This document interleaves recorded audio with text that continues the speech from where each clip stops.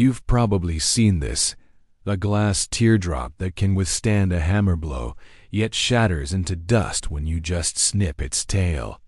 So, what's the science behind this bizarre object known as a Prince Rupert's drop? It all starts with how it's made. Molten glass is dropped into cold water.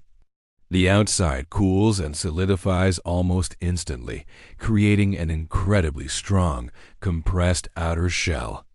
But the inside cools much slower, pulling inward and creating immense internal tension. It's like a battle of forces trapped in glass. This creates a state of extreme stress.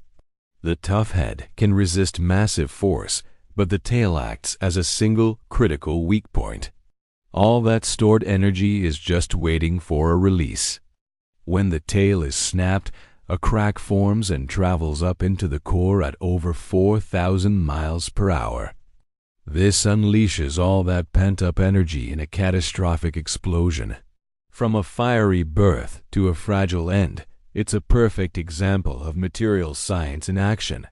If you love mind bending science, be sure to subscribe for more.